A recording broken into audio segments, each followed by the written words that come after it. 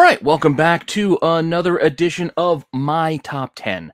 Uh, I've done this a couple of weeks now. These are my top 10 picks based on a certain subject or theme or topic that I decide to come up with that I just feel like talking about. I've done my wish list books that I hope to pick up this year in 2022. I've done my all time grail books that I also hope to sometime eventually add to my collection.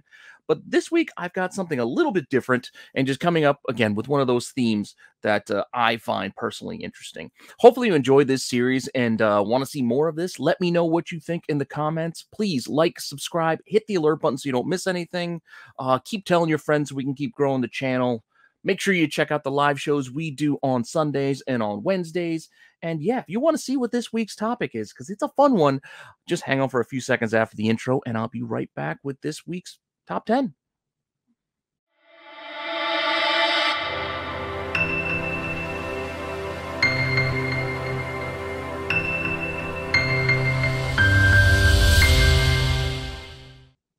All right, so as I teased there in the open this week, I have a sort of a fun list for my top 10.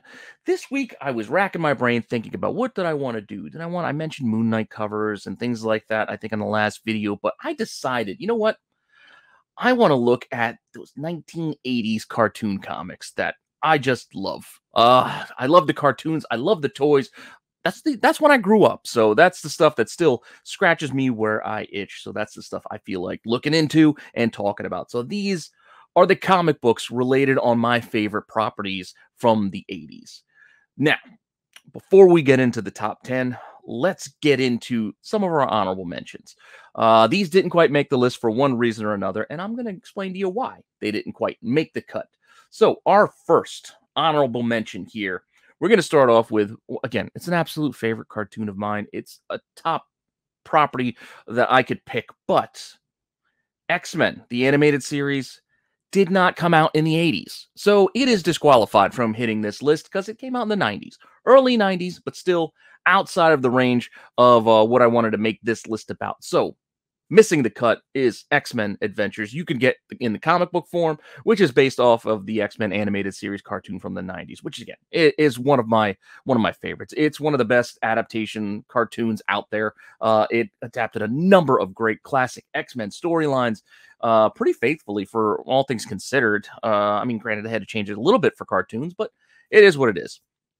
Definitely check it out if you haven't seen it. I believe these uh, cartoons are all on Disney Plus or uh, Disney Plus. Maybe it's on Hulu. It's on one of the streaming services. If you have it, check it out because uh, it's definitely worth a look.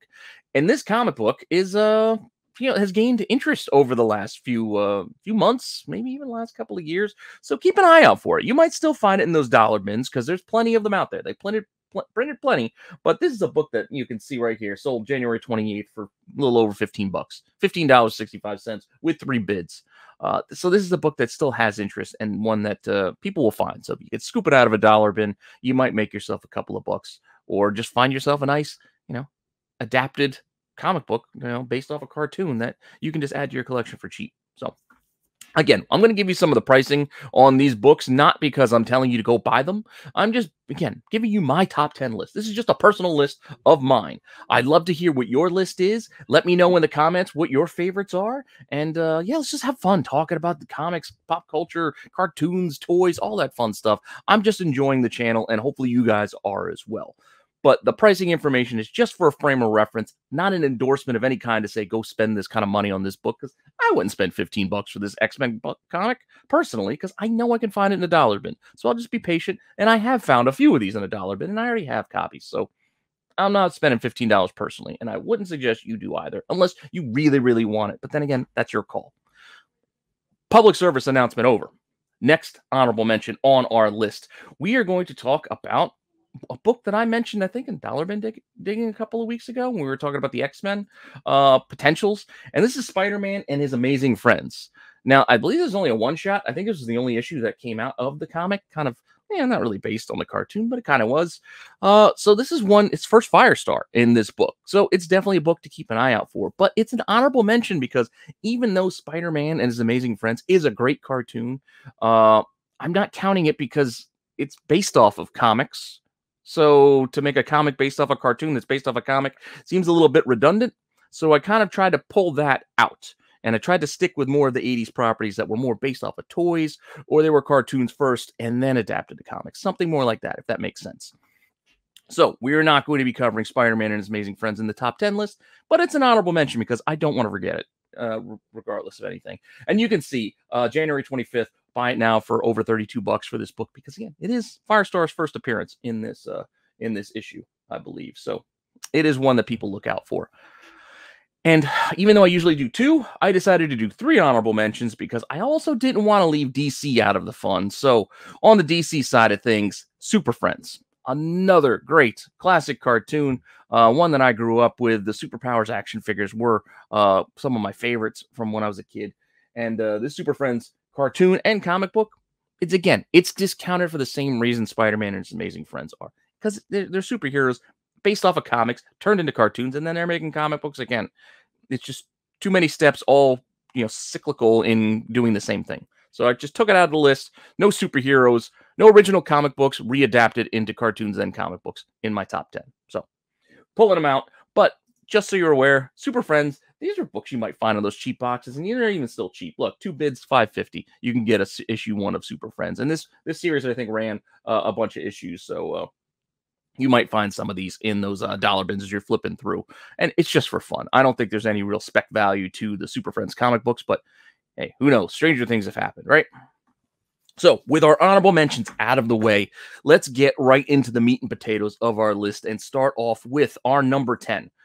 Or I shouldn't say our number 10. It's my list. It's my number 10. Just me. My opinion, my choice. My number 10 is an action figure line that is one of my favorites. I mentioned it before. I was going to do a toy series of videos on my channel again, and I started off with this toy property because, again, it's one of my favorites, and that's Visionaries. I don't know why. I'm just a big fan of the Visionaries. They were cool. They were knights, the spectral knights, knights of the magical light. I don't know why I liked it so much. Maybe it was just the uh, the holograms on their chests. Maybe it was the you know the weapons that they held, they had, the vehicles, the futuristic knight aspect. I don't know, something about it was cool when I was a kid. And uh, there is a six issue comic book series that you can find as well. Issue one's not that hard to find. Again, sometimes you can find these in dollar bins. You can keep an eye out for all of them. But issues five and six, six is the last issue, really do well on, on the back issue market. Yeah, I'm, I'm talking about like 20, 30 bucks. Well, not like super duper expensive, but still something you want to keep an eye out for if you can find them. But issue one, you can even see here, you can find online uh, for 1050. So there's like $10 book if you can find it. But dollar bins are really your best bet uh, to find something like this for cheap. So I found them in dollar bins. I recommend you keep an eye out for them as well. But if you watch this channel, you know I mention these types of books all the time. A lot of these books you will see I've picked up dollar bin digging before because this is the stuff I look for. I look for these adapted comic book cartoon properties because this is stuff that I remember. It's stuff I like personally. So I keep an eye out for it and I recognize it immediately when I see it. So just sharing that bit of information for you guys if you're interested as well in these uh, cartoon type properties. So that is my number 10 because again, it's only a six issue series, didn't last for very long. I don't have any expectations of them really bringing it back, despite the fact that they did try to do that crossover with Transformers not that long ago. But eh, who knows? Who knows where we might go to in the future?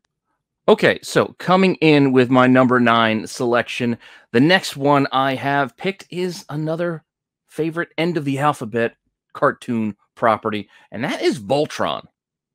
Voltron. Who didn't love Voltron? It has been copied plenty of times, especially with you, this younger generation and their Power Rangers. Don't look back to Voltron as being that, you know, joining up the lions that formed, you know, Voltron. This thing was awesome. The cartoons were great. The toys, which I did not have, I had like, I think one lion when I was a kid. I did not have all of them. That's it's just on my parents didn't uh, throw in the cash on Voltron, but I did make sure to get my son a set of Voltron once.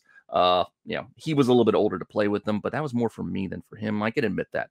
But that all being said, Ultron, Ultron, Voltron is my number nine pick because again, it's a classic, classic, classic stuff. Now, this is a tough book to find for cheap. This Voltron number one, you can see here 20 bids on January 26th, got one up to 66 bucks. So this might be a little bit of a tougher one to score if you're looking for it because, again, it's not that easy. And uh, I'm not alone in my fandom for Voltron Defenders of the Universe. But it is a cool one, and uh, I thought it might end up being higher on the list. But when I was going hemming and hawing, going through what I wanted as my top ten, I decided this was number nine. So number nine, it is. to move on down the list to my number eight pick, which number eight, 80s cartoon. I don't know why I slotted this ahead of Ultron, but I did. Maybe it was just a gut instinct, and it was still a fun series. And I'm talking about Silverhawks. Do you remember Silverhawks? These guys, another comic book that's gotten hot the last few months, the last year or so, uh, pulling out of dollar bins and all of a sudden becoming 30 to $50 book. I don't think it should be there, but it is a classic to me. So maybe it isn't out of place getting those prices, uh, but it is one you want to keep an eye out for. Again, just a fun series, some fun toys with the shiny, you know, shininess and the wings.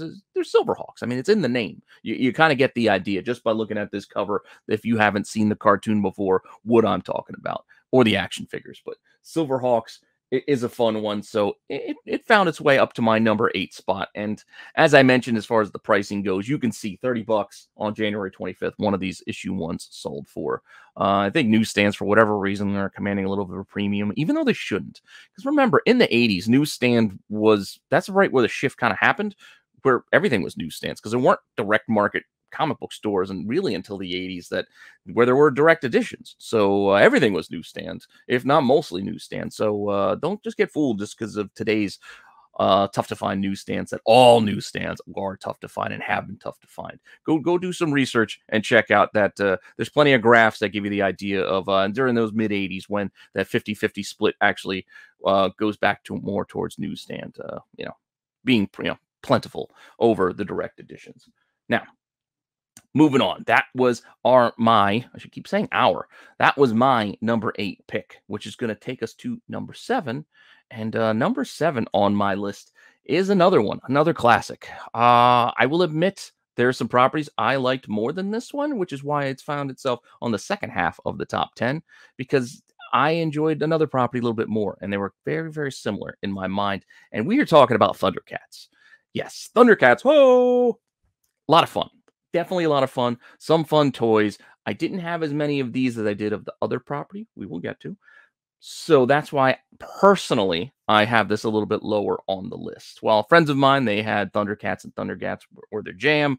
Uh, I occasionally got to borrow. I don't know if you remember back in the old days when you would like bring your toys onto like the school bus. and You would trade a toy with a friend and you'd borrow a toy for like a week and they played with yours and you played with theirs. And I don't know. Maybe it was just something in my area or something at my school that we did. But I remember as a kid bringing in toys and my mom getting mad, like, no, what if they break? I don't know. But trading toys was a thing when I was a kid. Uh, I don't know if it was for you guys, but memories, right?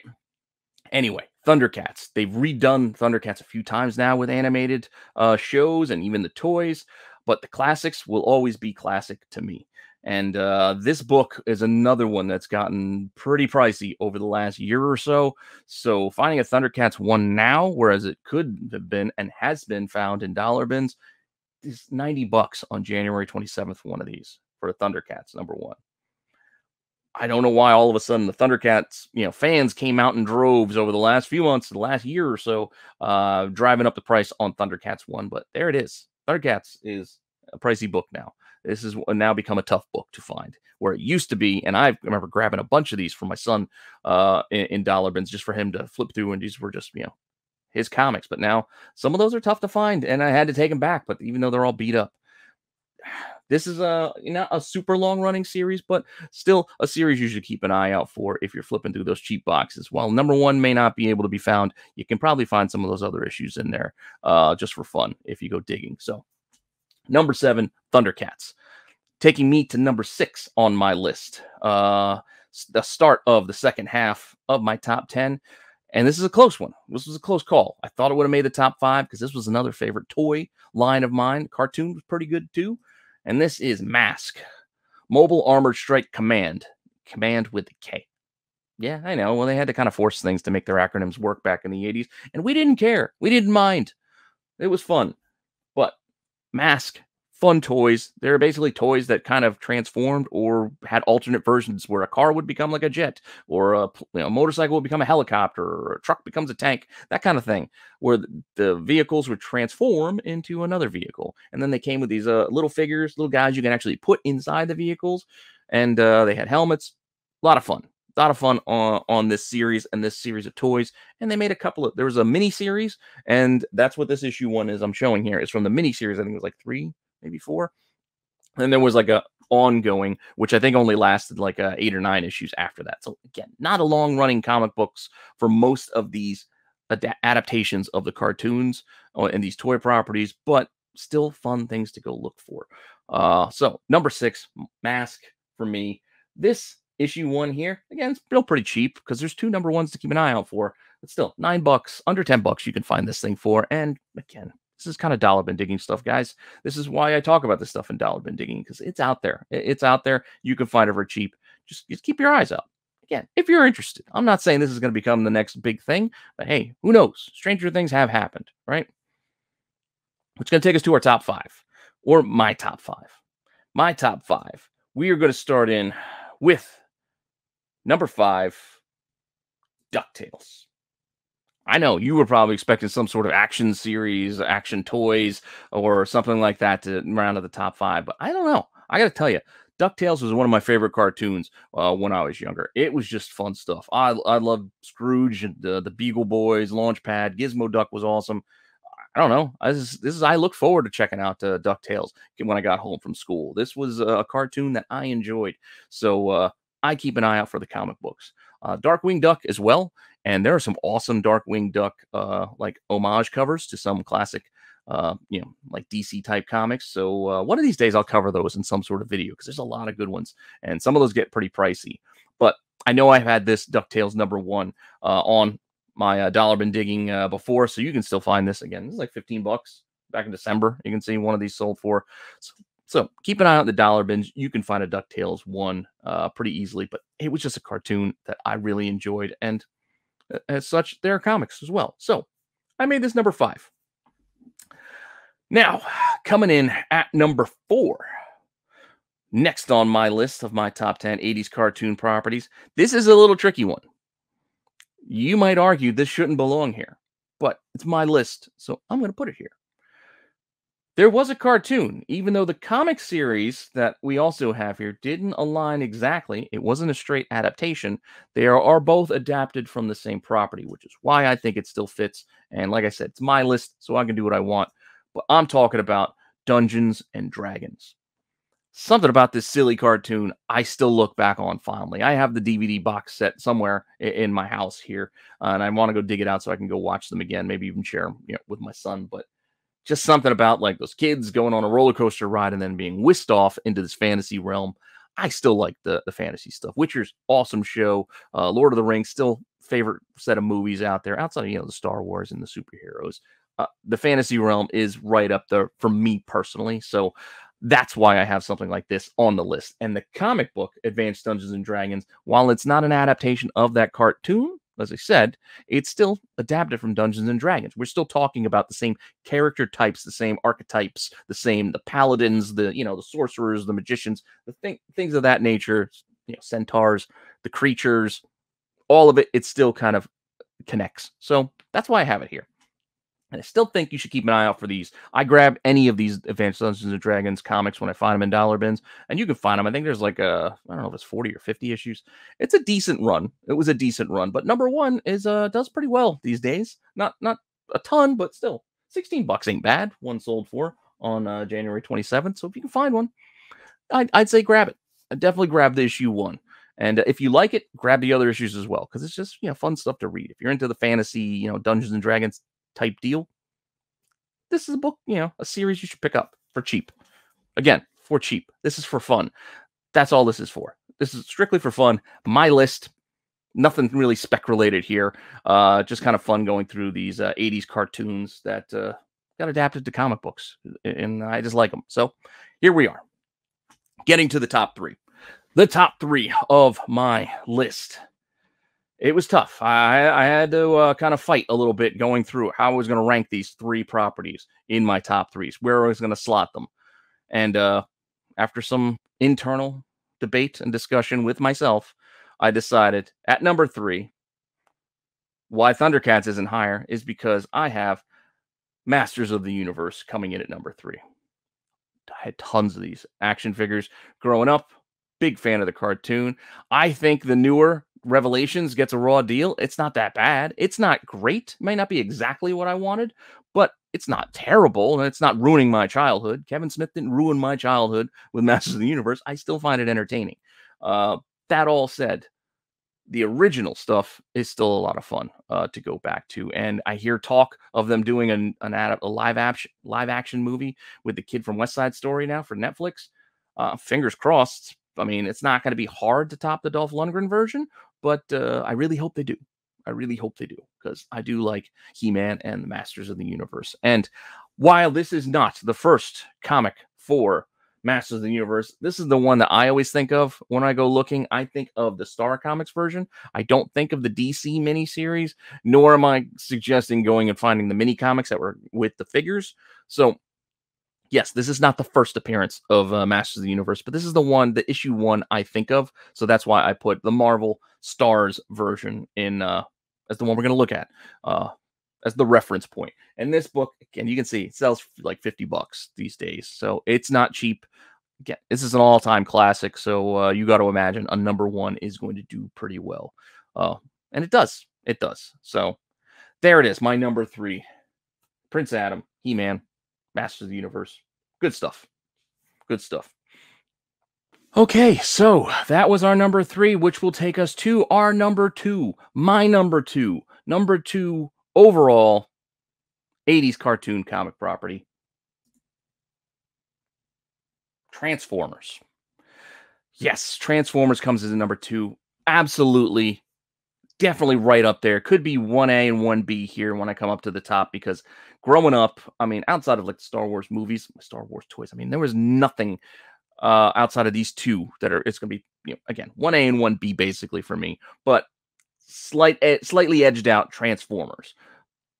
Awesome toys. I mean, I loved my Transformers growing up, and they're cartoons fantastic. The movie is one of the best uh movies for cartoons out there you know you know cartoon tv shows saturday mornings adapted into the theaters like things that happened back in the 80s how great was that just seeing that uh transformers movies in the theater? I don't know. It, these are high points of my childhood that i look back upon fondly. So at number two transformers and this uh pretty sweet bill sienkiewicz cover too is not cheap. 100 bucks uh, for one of these easy uh, for Transformers number one, and it doesn't even have to be like in 9.8 minty shape. Like decent looking copies can sell easily for this price. Uh, so just a pricey one, uh, one that you're not going to find really cheap in those cheap bins anymore, most likely. But if you do, good, you know, good on you.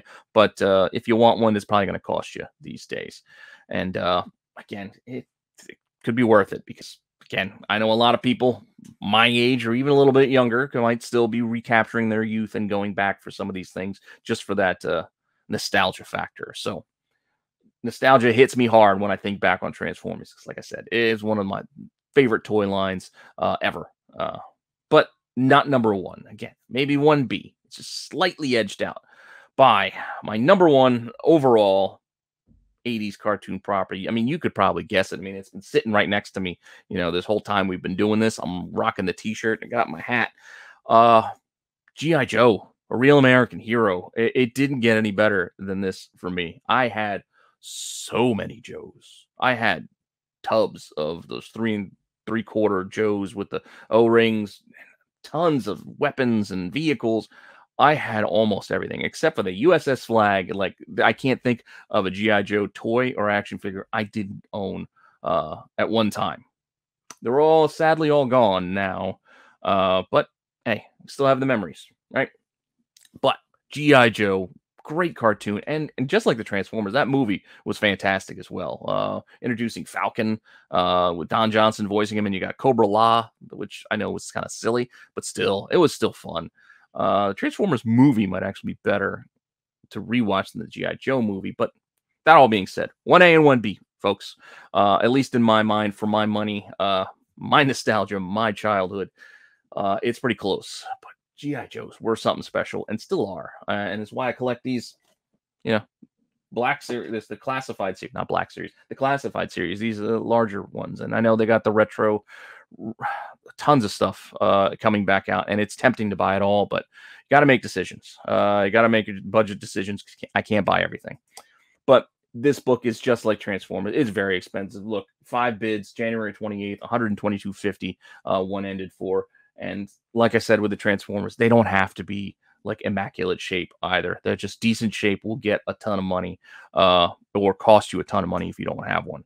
So keep that in mind as you work and try to find some of the stuff. If you're interested, again, this is my top 10 list. Uh, again, it's nothing spec related. These are just the top 10 things that I look back on when I think of like 80s cartoon comics. These are the series and toys and cartoons and comics that I think of when I think back to the 80s. Let me know uh, ones that you, you know, are a big fan of because I know your list is going to be completely different than mine, most likely. And I welcome that. I welcome us all to have this discussion, have some comments.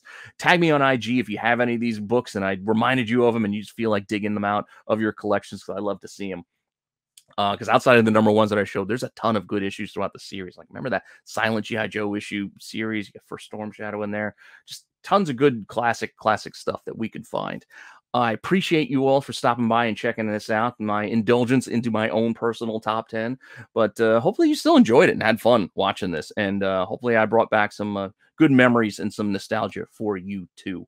And uh, like I said, let me know what ones I might have missed that you would have had on your list. Are you a big Centurions fan? What about BraveStarr? I don't know. Maybe you were more of a GoBot guy than a Transformer thing. Like your list could be completely different than mine, and that's fine. We all have our own lists. Again, this, this isn't uh, anything more than just a, a little fun look back into our uh, childhoods. So, with that all said, hopefully you enjoy the channel. Hopefully you keep telling your friends so we can keep growing this thing. Check out the live shows. Come join us. Have some fun in the live chat because uh, it's always a blast uh, communicating and exchanging with you guys when we talk about all this fun stuff with comics and toys and pop culture and cartoons and movies.